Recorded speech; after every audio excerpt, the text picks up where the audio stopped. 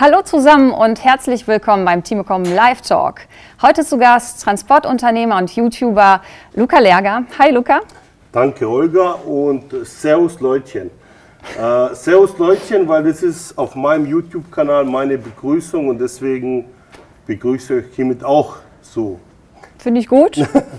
Wir haben natürlich einige Fragen für unseren Gast vorbereitet, aber ihr seid herzlich eingeladen, eure Fragen hier unten ins Kommentarfeld zu tippen und wir greifen sie während der Sendung auf. Ja, Luca, schön, dass du es nach Erkrath geschafft hast, hier in unsere Danke. schöne Eingangshalle. Danke, dass ihr mich eingeladen habt. Freut mich, euch kennengelernt zu haben, weil wir tun ja auch schon länger zusammenarbeiten, aber jetzt haben wir uns auch persönlich kennengelernt. Finde ich auch gut. Normalerweise sitzt du ja vorne beim LKW genau. und äh, filmst ja, dich. Genau. Ja, und ja. ja heute In letzter Zeit nicht mehr so. Also in letzter Zeit fahre ich nicht mehr alleine, weil ich habe viel andere Sachen um die Ohren. Aber also wenn ich schaffe, fahre ich eigentlich immer gerne. Naja, jetzt lassen wir uns ja heute filmen hier auf der Ladefläche von dem genau. Oldtimer genau. hier. Sieht ein bisschen anders aus als meine Ladefläche, aber ähm, ja, passt. Apropos, ähm, für die wenigen Leute, die dich noch nicht kennen, kannst du mal erzählen, was du auf deinem Kanal Live for Trucking genau für ja. Videos machst und hochlädst? Ja, äh, gut. Also bei mir, äh, erstmal habe ich angefangen, ähm, ich hatte halt ja, viele Fragen, was die Selbstständigkeit angeht. Und äh, so hat es auch dann mit dem Kanal angefangen. Ich habe da einfach wirklich das Thema Selbstständigkeit angesprochen ähm, und ähm, weil ich einfach gemerkt habe, dass sehr viele äh, Leute in das Ganze reinschlittern und große Fehler machen. Ich habe selber die Fehler auch gemacht. Also ich habe die auch wirklich ähm, ja, viel Geld dafür gezahlt, für, äh, Lehrgeld. Und ich denke, warum äh, sollten die das Gleiche machen? Also deswegen habe ich praktisch versucht, auf dem Kanal ähm, ja, meine Fehler oder überhaupt die Fehler, die man so macht, äh, einfach äh, weiterzugeben. Wo, wo man genau aufpassen muss, äh, was für Fehler die Leute machen und was man einfach lieber nicht machen soll. Aber jetzt sind mittlerweile, da wie gesagt ich nicht mehr so viel im LKW sitze, äh, damals, also vor zwei Jahren, habe ich jeden Fahrer, der Urlaub oder so hatte, habe ich praktisch, äh, bin ich dann gefahren. Äh, jetzt in letzter Zeit geht es einfach nicht. Ich habe ja auch mehrere Unternehmen und das schaffe ich einfach nicht mehr von der Zeit her. Ähm, und deswegen ist jetzt mein Kanal, also ich rede immer noch über LKWs. Ähm, das Thema LKW ist bei mir immer noch sehr interessant, aber ich tue auch viel von meinem Leben, einfach ein bisschen auch vloggen äh, oder vloggen oder wie, wie man mhm. das schon heißt, oder Vlog, äh, verschiedene Namen. Also auch Privates oder? Äh, genau, ich mhm. zeige auch viel Privates. Ich habe, ich sage mal so, ich habe nichts zu verbergen. Mhm. Ja, und äh, ist das so von heute auf morgen gekommen oder wie bist du überhaupt? Nein, nein, nein, nein. Also ich muss dazu sagen, ich äh, persönlich schaue schon mit Sicherheit vier Jahre lang kein Fernsehen. Okay. Überhaupt kein Fernsehen. Äh, Machen ja viele nicht mehr. Genau, ja. Und ich bin einer davon äh, und ich tue eventuell, wenn meine Frau irgendwie einen guten Film irgendwo gefunden hat, dann schauen wir uns den abends an, aber in der Regel schaue ich wirklich nur YouTube. Und das, ich denke auch, das ist die Zukunft und ich, ich, ich spiele eigentlich schon wirklich sehr lange mit dem Gedanken, dass ich auch diesen Kanal mache, aber das ist auch immer die Frage, ja, was machst du erstmal für einen Kanal? Ich habe halt viele Interessen. Äh, bei mir ist halt Thema Auto, äh, LKW, also alles irgendwie, was einen Motor hat, ist, äh, war schon für mich immer interessant. Und ich wusste eigentlich, dass ich in dieser Richtung auch gehen mhm. äh, will. Und äh, ich habe mir aber schon viel Zeit gelassen. Und dann äh, ja, kamen immer mehr diese ja, Trucker-Kanäle, sagen wir es mal so. Und ähm, da habe ich gesagt, okay, jetzt der Zeitpunkt. Obwohl ich dazu sagen muss, ich habe mein erstes Video aufgenommen und erst drei Monate später online wow. gestellt. Ja, ich habe. Warum? Ja, ich wusste einfach nicht, wie, wie reagieren die Leute. Es war schon ein bisschen so mit Angst verbunden. Äh, was sagen die jetzt? Und dann später siehst du erstmal positive Kommentare. Na klar, kommen auch immer ein bisschen negative. Aber ich habe jetzt, glaube im Moment sind so 6% negative und 94% positive äh, ja. im Durchschnitt. Ja. Und ja, was ja. willst du da noch sagen? Das ja, genau. Ja. ja, äh, das ist auch die richtige Frage jetzt. Ähm, du wirst ja von zigtausende folgen dir und tausende liken das. Kannst du dir den Erfolg erklären? Wer ist dein Publikum? Boah, ja gut, jetzt Erfolg. Ähm, Also mein Publikum ist eigentlich, was, was ich auch sehr interessant finde, weil ich rede ja mit vielen YouTubern und bei denen gibt es auch sehr viele junge Zuschauer. Bei mir auch. Ich grüße die auch recht herzlich, mhm. aber ähm, bei mir ist es doch so, die meisten sind zwischen 25 und 44 Jahre alt, weil ich, äh, wie gesagt, nicht so interessante äh, Themen anspreche, wie vielleicht für ein jüngeres Publikum interessant wäre, wie gesagt. Und ähm, deswegen ist eigentlich, ich habe, ich hab, aber es ist querbeet. Ich habe wirklich, ja. ich habe Unternehmer, nicht jetzt LK, mit LKWs. Ich habe äh, Leute, die haben ihren Sanitärbetrieb oder es ist wirklich querbeet. Ich habe viele auch Unternehmer, ich habe ein paar Disponenten. Äh, ich habe mittlerweile, weil ich habe ja auch so einen, äh, ja, so einen Kurs, den ich ähm, ähm, kostenlos anbiete und auch äh, einen, den man kaufen kann, wo ich äh, die Schritte in die Selbstständigkeit erkläre. Da habe ich jetzt im Moment auch sehr viele, da der Kurs jetzt schon über ein Jahr auf dem Markt ist, habe ich jetzt auch schon viele, die ähm, wirklich sagen, hey, danke, du hast mir geholfen. Ich habe schon meine eigene Firma, schick mir Fotos von sich und dem LKW und das ist einfach, äh, das freut mich. Wenn, wenn, wenn man nur ja. mal schaut, wenn du einem äh, zu diesem Schritt geholfen hast und es passt bei dem, also er, er hat wirklich alles richtig gemacht, äh, freut mich das schon. Also das ist dann für mich schon eigentlich eine Bestätigung, dass das gut ist. Ja. Das ist natürlich eine coole Sache. Und es sieht alles so easy aus. Ich weiß aber, du hast jetzt gerade gesagt, äh, du, bei deinem ersten Video hast du erstmal Monate gewartet ja. und so. Und ich weiß auch selbst, dass da viel Arbeit dahinter steckt. Kannst du mal so ein bisschen erzählen, wie viel, also was so also, ein Video erfordert? Ja, es, es kommt natürlich jetzt wieder darauf an, was für ein Video. Video ist nicht gleich Video. Am Anfang hatte ich ja nur diese Fahrvideos. Das ist zum Beispiel, ja, das ist ein Video äh, am Anfang, das habe ich, ich wusste ja gar nicht, was genau brauchst du. Ich habe äh, meinen Fahrer gewechselt für zwei Wochen und äh, ich habe einfach, bin auf Amazon gegangen, habe mich eine Kamera gekauft, zwei GoPros, bla bla bla bla, äh, alles liefern lassen und dann habe ich das irgendwie an den LKW gebracht und jetzt äh, versuchst das Ganze zu schneiden, aber du verstehst erstmal gar nicht, dass dein Computer damit gar nicht zurechtkommt. Dann brauchst du erstmal einen Computer, der über 3000 Euro kostet, damit du überhaupt das Ganze wieder verarbeiten kannst. Also erstmal wusste ich nicht, dass das Ganze so kostenintensiv ist. Also es ist wirklich brutal kostenintensiv mhm. und dann zeitintensiv. Wenn ich natürlich jetzt ein Video mache, wo ich im Auto fahre, die Kamera reinstelle und einfach drauf losrede, das ist dann, ähm, ja, versuchst du diese M, meine Ms, Ms, die schneide ich dann raus. Das nimmt ein bisschen Zeit. Aber in der Regel, meine Videos sind noch, sagen wir mal, wirklich, ähm, ja, wenn äh, du jetzt eine un Stunde... Unbehandelt fast. Genau. Okay. Wenn du jetzt eine Stunde lang aufnimmst, brauchst du noch zwei, drei Stunden, um das Ganze äh, zu schneiden und so. Wenn ich aber jetzt äh, irgendwie ein Video mache, wo ich da Musik, Hintergrund, äh, bla bla bla, wie ich zum Beispiel Truck Show in Kroatien, dann äh, du, du hast ja vier, fünf Stunden Videomaterial und dann musst du jetzt äh, für für so ein Lied, was drei Minuten lang ist, musst du jetzt da rausschneiden, die Highlights. Ja. Das, da habe ich, glaube sogar fast zwei Tage, also natürlich nicht den ganzen Tag, aber so abends fängst an um 6, 7, also 18, 19 Uhr und dann bis 3, 4 in die Nacht, äh, 3, 4 Uhr in die Nacht. Also ist schon äh, Ziemlich, sehr intensiv. Ja. Genau. Ja, dann kann man also nur, äh, das kann ja nur aus Liebe und Leidenschaft geschehen, weil wir wissen ja vom YouTube oder Bloggen kann man ja nicht wirklich nee, leben. Nee, definitiv nicht. Ja. Definitiv nicht, vor allem wenn du das Ganze wirklich auf ein hohes Niveau bringen willst. Ich habe ja jetzt auch, ich habe ja mir ein Büro angemietet nur für äh, YouTube. Ich äh, bin auf der Suche nach Mitarbeitern, äh, die praktisch äh, neben mir filmen und so. Also das sind ja alles Sachen, das kannst du ja mit YouTube, kannst du ja nicht mal ein äh, äh, ein Tag von dem, äh, von dem ähm, Mitarbeiter bezahlen.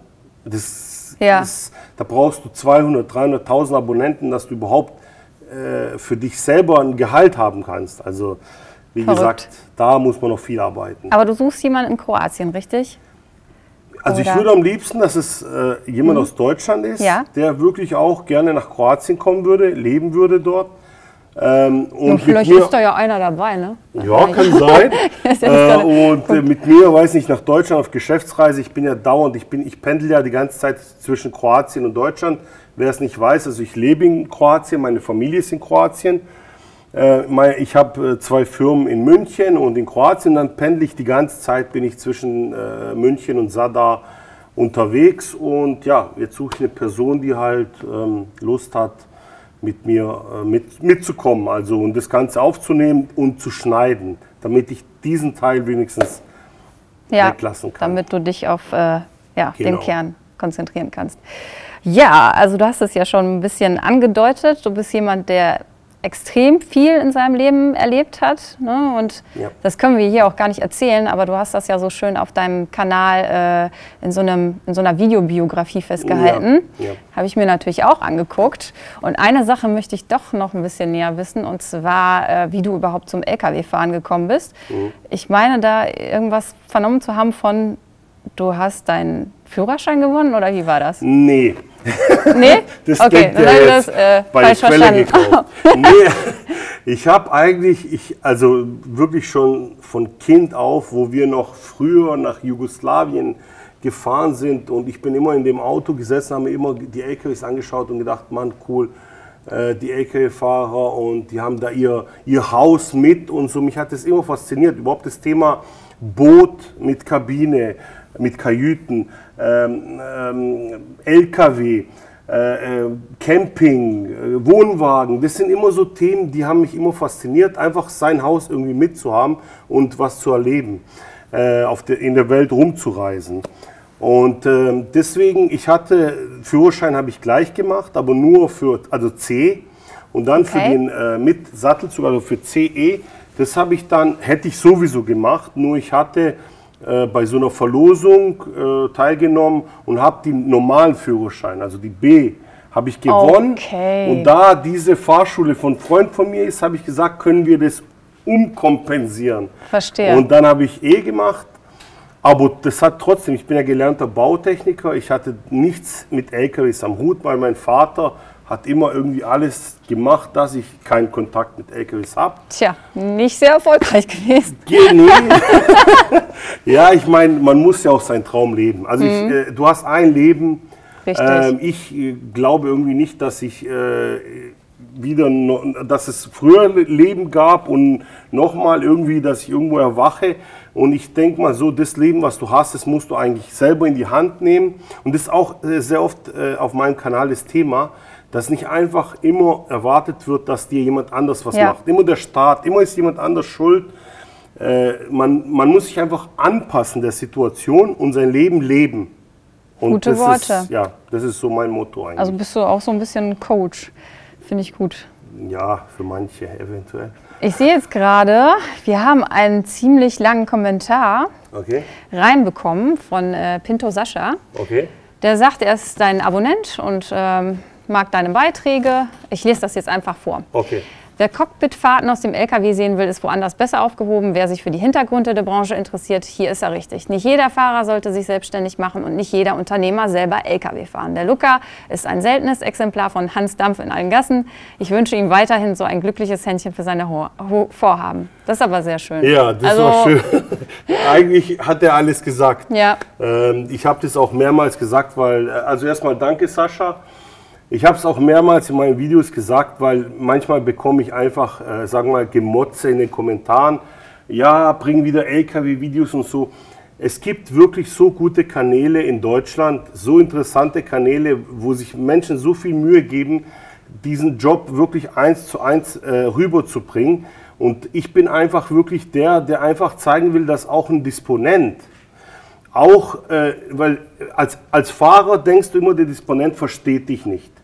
Aber du musst auch mal denken, okay, verstehe ich ihn? Mhm. Also ich versuche hier wirklich beide Seiten zu zeigen. Ich habe auch mit meinen Fahrern wirklich freundschaftliches Verhältnis, was eigentlich auch oft nicht gut ist. Äh, und ich sage denen auch manchmal, ähm, Leute, es geht einfach nicht. Wenn es nicht besser geht, dann geht es halt nicht. Wie gesagt. Jetzt kommt noch eine Frage. Ja. Ähm, eigentlich hast du die schon beantwortet, glaube ich, aber dennoch. Doch. Äh, von dem Uwe, fährst du noch selber LKW? Also Uwe, ich fahre selten LKW, aber ich fahre immer noch. Also zum Beispiel vor allem im Sommer. Im Sommer fahre ich oft, ähm, wenn jetzt zum Beispiel mein Fahrer krank wird. Wenn äh, ähm, ähm, für die Urlaube, dann nehme ich immer einen Aushilfsfahrer. Der tauscht dann alle Fahrer aus, dass die alle Urlaub haben. Aber es kann passieren, zum Beispiel mein Fahrer bringt äh, Ware nach Zagreb, wo ich auch ein Lager habe. Und dann muss irgendwie jetzt ein halber LKW nach Sada. Das sind Ja. so Sachen, wo ich sage, mein Fahrer geh nach Hause, macht eine Wochenendpause oder was auch immer und ich fahre dann selber. Aber in der Regel ist es in den letzten Jahren vor allem, also 2017, sehr wenig geworden. Ja, wir haben auch, ich habe ja auch diesen Großhandel und wir sind da auch stark gestiegen. Es sind jetzt auch sechs LKWs geworden. Am Anfang war es halt einer vor vier Jahren und das kannst du einfach nicht mehr alleine fahren. Das geht einfach nicht. Ähm, sag mal, was sind eigentlich deine erfolgreichsten Videos bisher gewesen? Ja, erfolgreichste Videos. Äh, das ist ja genau das, das ist das, wo ich sag, ähm, bei YouTube, was ich nicht so mag. Äh, ich hatte ein Video, wo wirklich neben mir, also ich bin gefahren, äh, gerade wo ich alles aufgenommen habe, die ganzen Kameras und so. Und neben mir ist ein Unfall passiert, also wirklich ein sehr schwerer Unfall Ja. direkt neben mir. Also einer hat mich langsam überholt und einer ist mit 160 hinten reingefahren. Und äh, ich habe da irgendwie einen Kommentar äh, äh, beim Thumbnail reingeschrieben, äh, mittendrin statt nur dabei. Also Unfall mittendrin statt nur dabei. Und das ist das Video, was bei mir zum Beispiel am meisten geklicksten, also am meisten geklickt wird. Ähm, ich weiß nicht, wie viel das jetzt Aufrufe hat, 100.000 oder mehr als 100.000. Und dann siehst du auch viele Negative, weil die sehen, oh, da gibt es ja gar keine Toten, äh, die haben ja alle ihre Köpfe noch. Das, das ist genau das. Leute wollen immer irgendwie Blut sehen und, und, und das ist das genau die Gruppe von Leuten brauche ich einfach nicht auf meinem Kanal. Ähm, ich habe so eine kleine Community aufgebaut. Äh, ich kenne auch viele schon, also praktisch nicht persönlich, aber äh, unter den Kommentaren. Und das sind halt, das ist das, was mich am Laufen hält. Ähm, Die positiven Leute. Genau, genau, genau. Wir haben hier jetzt noch eine Frage. Ah ja, von dem Marc. Ähm, was meinst du, werden in den nächsten Jahren die Frachtpreise weiter sinken oder steigen? Dein Video mit dem Kommentar zur 45-Stunden-Pause im LKW war top. War auch Okay. schön zu wissen. Ja. Auch direkt, du kriegst auch direkt Feedback, nicht nur Fragen, sondern Freut mich, genau. Ähm, ja, wa was mit den Frachtpreisen passiert, das ist schwer zu sagen. Steigen werden sie auf jeden Fall. Das ist, es kann ja nicht anders kommen, weil der Sprit wird immer teurer, Sachen werden überhaupt, Lebensmittel werden teurer. Äh, es, es wird auf jeden Fall steigen. Es ist ja jetzt schon so, also 2017, da kann jetzt wirklich jeder sagen, was er will, aber 2017 war schon wirklich, äh, die Frachtpreise waren schon wirklich ähm, gut. Dass man in diesem ganzen Geschäft nicht reich wird, außer, das ist, ich, ich, ich würde mal, ich war ja auch früher Autohändler. ja. Ähm, das, ist, das sind so zwei äh, sehr ähnliche Branchen. Du kannst im Autohandel nur reich werden, um es mal so zu sagen, und bei LKWs, wenn du ähm, ja, einen Unfallwagen nimmst, den dann schön machst und weiterverkaufst und so Sachen. Das gleiche ist beim LKW. Wenn du den Fahrern ganz miserable Löhne gibst, alte LKWs oder mit sehr äh, schlecht ausgestattete LKWs gibst, wenn du wirklich jeden Cent an Sprit sparst, dann kannst du eventuell bei einer großen Flotte reich werden. Äh, Bei meinen sechs LKWs kann sowas nicht passieren. Also außer jetzt, weiß nicht, bei sechs Fahrern, dass irgendjemand eine Tüte Geld findet und die dann zu mir bringt. Aber äh, anders, ähm, das ist Ja. schon Leidenschaft. Also äh, das muss man schon so verstehen. Und die Frachtpreise, denke ich, sind im Moment, im Moment jetzt natürlich nicht die besten, aber sonst aufs Jahr gesehen ist, sind die eigentlich schon wieder Ja. angestiegen. Ich äh, nehme hier noch eine letzte Frage rein Ja. von dem Patrick. Der fragt, äh, beziehungsweise er sagt, er ist Abonnent von dir. Ja. Wie viel Zeit steckst du noch in deinen LKWs und in deine Transportfirmen? Ähm, Im Moment zu viel. Im Moment zu viel, weil gerade im Moment, Januar, Februar, ist halt schlecht auf dem Markt. Und äh, normalerweise brauche ich eine Stunde oder eine halbe Stunde, um eine Tour zu finden. Äh, jetzt wirklich im Januar war es teilweise so, dass ich wirklich einen ganzen Tag äh, verloren habe, um irgendwie einen LKW von irgendwo rauszubekommen. Also im Moment zu viel Zeit, viel zu viel Hm. Zeit. Ja, ja, ich Ja. weiß auch nicht, wie du das alles machst. Ich auch nicht, meine Okay. Frau auch nicht. ja. Der Uwe wieder ähm, wollte dir nochmal ein dickes Lob Danke, geben Uwe. an den YouTube-Kanal. Ich und mein Sohn sehen jedes Video von dir und mach weiter so und die besten Wünsche aus Leipzig an Freut dich. mich. Wünsche zurück und Grüße zurück nach Leipzig. Ja, ich glaube, das ist auch ein äh, schönes Schlusswort. Ich bedanke mich sehr für das Gespräch und wer noch mehr Infos haben will und Videos Genau. von dir und dir, dich einfach mal erleben will, der Ja. guckt bei Live for Trucking Ja, auf genau. YouTube Genau, und ähm, genau. da gibt es noch mehr von Luca. Genau. Vielen lieben Dank. Ich würde Vater. auch äh, mich nochmal bedanken, also bei den Zuschauern, äh, die auch die Fragen gestellt haben, bei euch, dass ihr mich eingeladen habt. Und äh, wie Klar. gesagt, es hat mich wirklich gefreut, die Möglichkeit zu bekommen, mich einfach mal vorzustellen. Kann ich nur zurückgeben. Danke. Also vielen Dank und einen schönen Abend noch. Macht's gut. Bis zum nächsten Mal. Ciao. Tschüss.